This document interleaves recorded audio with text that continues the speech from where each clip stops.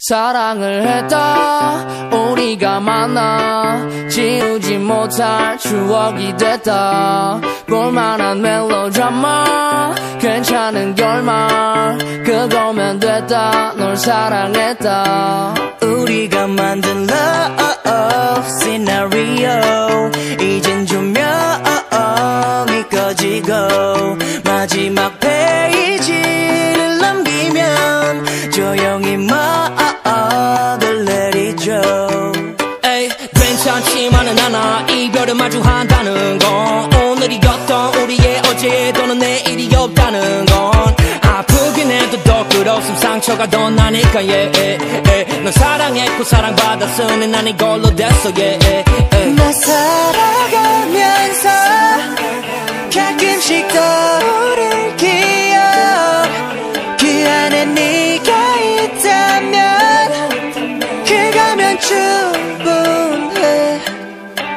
사랑을 했다. 우리가 만나 지우지 못할 추억이 됐다.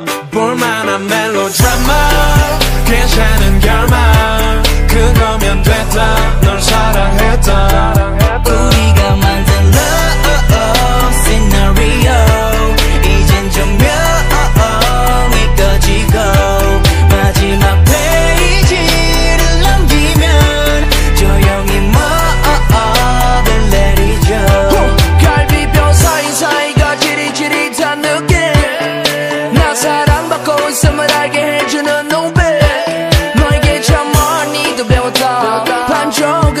채웠다 과거로 두기엔 너무 소중한 사람이었다 나 살아가면서 가끔씩 떠오를 기억.